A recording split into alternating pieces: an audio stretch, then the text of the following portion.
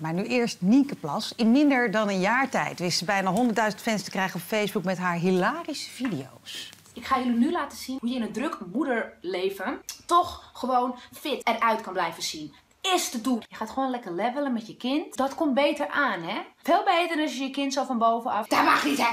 En dat mag niet. Nee. Nee, nee, nee, nee, nee. Je wil er wat uithalen. En daarom heb ik deze bedacht. Let op. Hey! Pas erop nou, hè? Wat zeg maar nou? Ik wil het... Hier is het van noodzaak. Van voor naar achter, de hele straat, goed kortwieken. Want je vindt het toch vervelend dat als je hebt lopen kakken, er van die tarrels achter zijn blijven hangen, omdat je daar te vermoeid voor was. Ik ben blij dat ik aan mijn oksels toe kom. Eeuw, eeuw, eeuw. Bah. Duidelijk taal. Nienke! Lekker hoor. Ja, een jaar geleden kenden velen je nog niet. Inmiddels heb je honderdduizenden volgers op je, op je Facebook. Hè? Dat is geweldig met alle filmpjes die je wekelijks weet te plaatsen. Je hebt je vaste baan opgezegd. En menigeen kijkt naar jou. En nu zit je ook nog eens een keertje bij ons in koffietijd. Heb je überhaupt zelf een beetje kunnen bevatten wat er in het afgelopen jaar is gebeurd? Het gaat heel snel en ik... Ja. Iedere ochtend sta ik weer op en dan ben ik mijn tanden aan het poetsen... en dan kijk ik mezelf aan de spiegel en denk ik... oh, wat ben ik dankbaar dat ik iets doe fulltime wat ik super leuk vind. Dat is Ja. het enige waar ik ochtends aan denk. In de zin van hoe ik mijn dag lekker begin. Maar ik had het niet voorzien. Nee, en dan ben je niet eh, in de ochtend al in die spiegel aan het kijken... en dan mimiek aan het oefenen en zo voor je volgende filmpje? Nee, nee, nee, nee, nee. nee. Want je bent echt heel expressief. Dat vind ik heel leuk eh, aan, aan de filmpjes van je. Ook in je taal natuurlijk. Maar vertel eventjes voor de mensen die je misschien nog niet kennen... even een kleine introductie. Eh, nou, ik ben dus Niek Plas. En eh, ik ben begonnen dus mei vorig jaar met filmpjes maken. Het eerste filmpje, het eerste filmpje was eigenlijk een, gevo- een gevoel. Het was een momentopname. Mijn vriend was naar het W Hotel, uitgenodigd feestje. En ik zei, veel plezier, ik blijf lekker thuis met de kleine. En ik word in één keer gebeld door een andere vriend. Lady Gaga is hier. En ik dacht, dat kan niet zo zijn, want ik ben fan. En jij niet. Dus jij gaat naar huis komen en ik ga daar naartoe. En dan eh, heb ik Lady Gaga.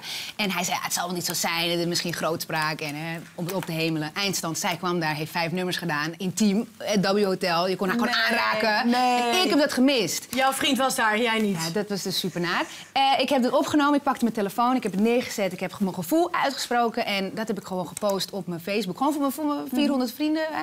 En de volgende ochtend kreeg ik zoveel leuke reacties van doe dit wekelijks, dit is vermaak, dit is mooi. En toen dacht ik, waarom niet? Nou, Ja. en dat ben je dus nu aan het doen. Iedere Ja. woensdag krijgen wij een haha-log. Een beetje humor ook terug. Vertel eventjes een haha-log. Ja, ik heb het vanaf het begin vlog genoemd, maar dat is eigenlijk niet wat ik doe. Kijk, vloggers die hè, neem je mee, s ochtends, s avonds laat, de hele eh, Ja. dag doorloop. En ik dacht wel meteen, omdat vloggen heel hip is, als je het woord vlog al zegt, ik denk, die knallen we erin, want dat geeft meteen wel een soort van show. Maar na, ik denk pakweg 35 vlogs, toen waren we van, dit is niet wat ik doe. Ik maak iets anders. Ik doe stand-up, het is comedy.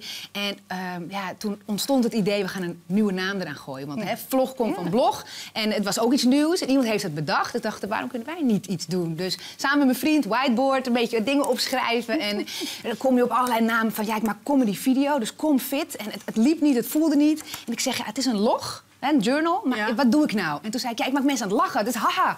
En toen schreef me op en toen dacht ik meteen, ah, dit is wel, Ja, dit is wel een goeie. Ja, het naam. Ja, klopt gewoon. Nou ja, en inderdaad, een haha-log. Hij was geboren en, eh, en heel erg eh, populair eh, onder alles en iedereen die kijkt. Maar is het voor jou ook echt zelf een soort uitlaatklep? Dat je gewoon lekker alles een beetje kan roepen... Nou ja, waar wij eigenlijk misschien allemaal wel eens mee zitten. Maar jij Ja, roept het. Tuurlijk. Ja, nee, ik kan mijn energie en mijn creativiteit kwijt. Dus dat, dat is mooi. Ehm, ik ben van mezelf een heel erg persoon. Ik ben, ik ben echt een flap uit. Dus het is wel typisch wie ik ben. Maar het is extra leuk dat ik iets kan maken wat mensen van kunnen genieten. Vijf, zes, zeven minuten. En dat is zo leuk. Ik kan iets doen waar, waar ik heel erg plezier in heb. En dat ik mensen een mooie dag beleef. En denk ik, wauw, dit is echt een gouden combinatie. Maar hoe kan het nou? Je begint met 400 gewoon vrienden. En ineens heb je, ik weet niet hoeveel duizenden mensen die jou volgen. Hoe gaat dat, dat traject? Ja. Hoe vinden ze jou? Hoe vonden ze jou? Ik moet zeggen, eh, vanaf dag één zei mijn vriend meteen... ik, ik ga je helpen, dit, ga- dit gaan we helemaal goed aanpakken. En we, we- we werken gewoon fulltime en ik kreeg er een belletje en dan zei hij... Schat, ik heb nog geen mailtje behandeld, maar ik ben wel aan het uitzoeken hoe ik het even om kan zetten naar artiestenpagina. Dus dat gaan we vanavond even helemaal aanpakken. En dan kwamen we thuis en dan zeiden we op één knop drukken en dan in één keer heb je 400 fans.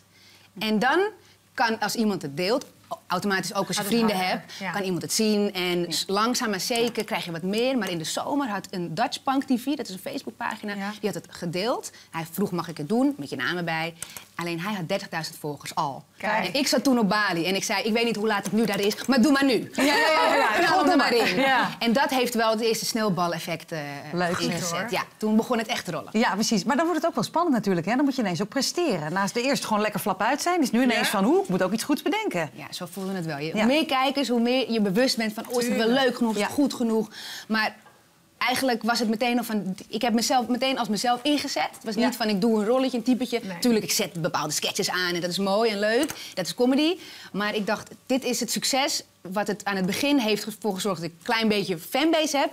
Ik moet ook op deze voet doorzetten, want dit is wel wie ik ben. Ja, en ik denk dat iedereen die in de entertaining zit... als je zelf blijft, is wel het gouden... Tuurlijk, zeker. Hou formule. Ik, dat, en dat vind ik heel knap, dat je dat dus ook op die manier weet vol te houden. Een van de video's die dus ook weer heel veel reacties heeft opge, ja, gekregen... is Ja. die van de generatiekloof. Uh, we laten even een stukje daarvan zien.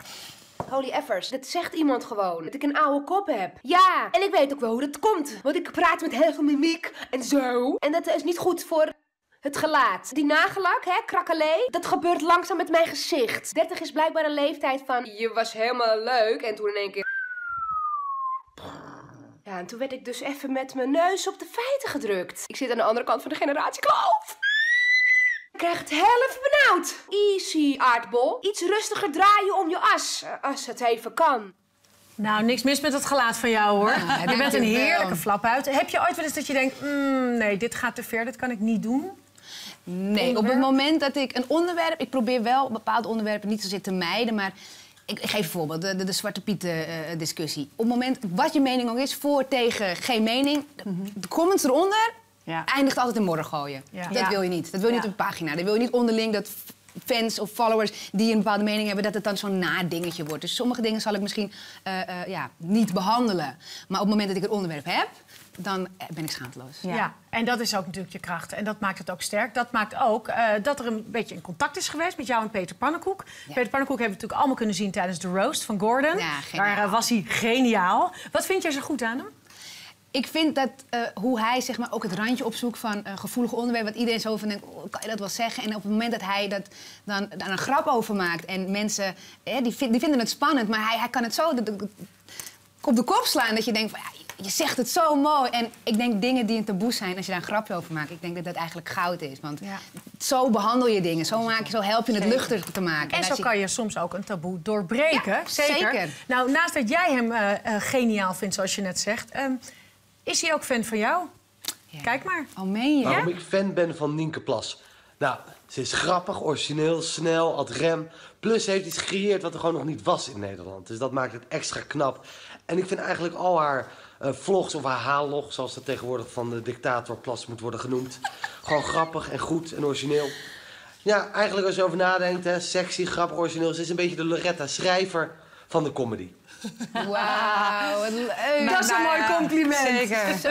Nou is het natuurlijk zo dat jij nu nog eh, je filmpjes opneemt, dat je nog kan monteren. Denk je dat je binnenkort ook op het podium gaat staan? In één keer bam, live? Ik, ik wilde naartoe. Ja, Ja, het is hè? altijd mijn droom geweest. Ik heb hiervoor echt eh, eh, altijd cabaretier willen worden. En ik heb er ook wat aan gaan bes- besteed met cursus en doen. En al- altijd vroeger wat thea- theater gedaan. Dus ik wilde naartoe. En het is... Ja, Peter heeft me gezegd, gewoon gaan. Open Ja, podium af. ja, en de ene keer gaat het goed, de andere keer je bek. Het is voelen, ervaren en leren. Dus da- daar gaan we wel naartoe. Dus we gaan gewoon kijken, waar, wat zijn leuke plekken.